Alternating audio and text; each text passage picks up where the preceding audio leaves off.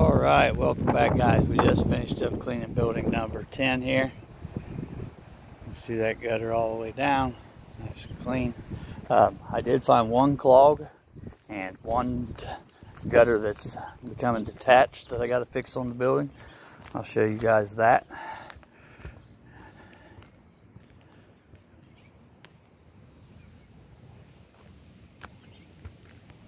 These are really stained up from leaves, guys. Don't think that's dirt. It won't come off.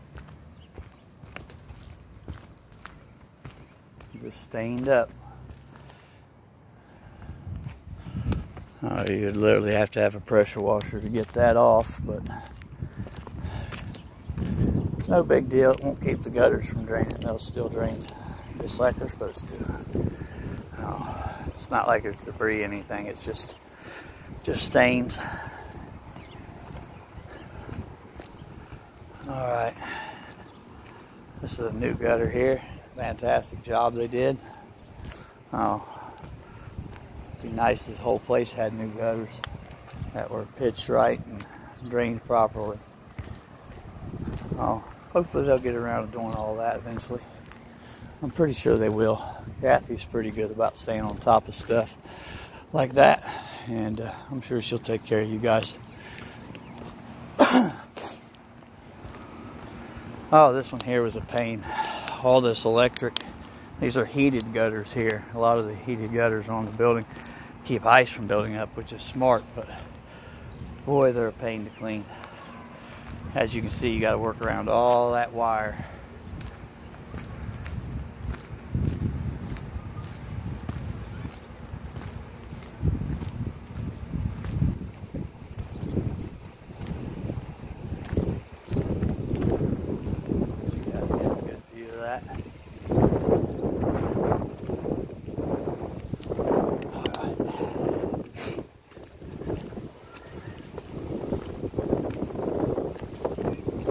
Oh, another pain about this building is the gutter guards that are on this side over here. Gutter guards are great some places. But when you have a big male tree that puts off pollen, it's not a good spot for gutter guards because those gutters still get full.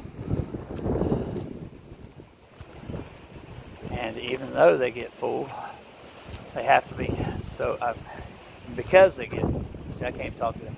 Because they get full they still have to be cleaned once or twice a year because they get fine particles in it which is the worst kind. Here's the one that has detached.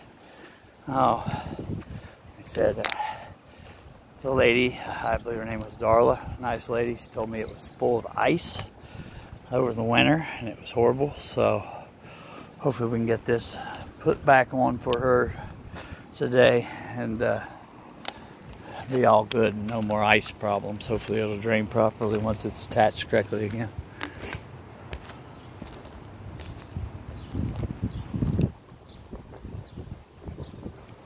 Ah, oh, excuse me. Had to get a drink of water. It is tasting good today. All right, here's my favorite ones. Um, I do got another video of taken off these gutter guards to show you guys what was underneath. You'll be pretty amazed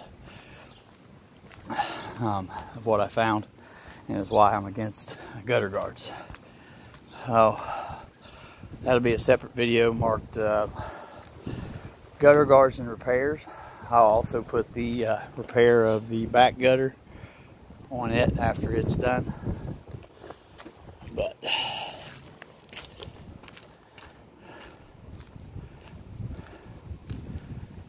Still look filthy because they're stained up from the uh,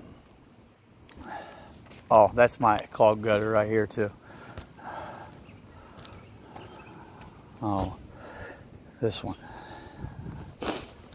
Oh, I got to get it unclogged. No big deal. That'll be also marked on the uh, repairs and uh, gutter guard videos.